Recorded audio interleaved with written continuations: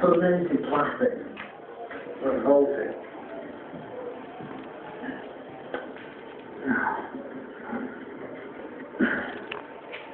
It's so hard, it's so difficult to pull this out. Just not, not stuff. Oh, me. We're going to have to do little bits at a time. Look at that, all of that is plastic. Mixed with all the fermentation juices of uh, the stomach, the plastic had melded together in huge clumps, and it was a mission to pull it out. So much plastic, totally full. And it's a real job just to get this stuff out because your teeth are all stuck to the inside of the stomach.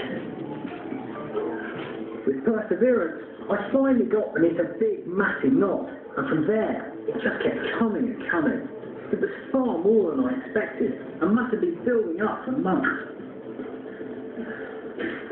Look at this. All of this here, Todo plástico. plastic.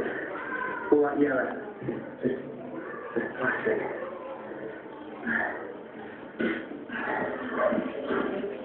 Amazing.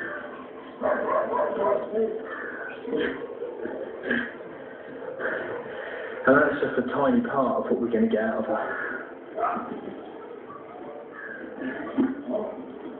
I've never seen anything like this. It's, it's astounding.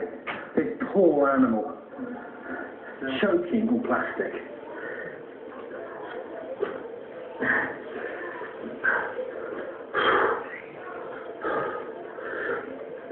I think it speaks for itself. I'm getting my hand completely inside the cow's stomach because I want to make sure I get every single bit of knotted plastic out. If you're going to do a job, we've got to do it properly, no matter how disgusting.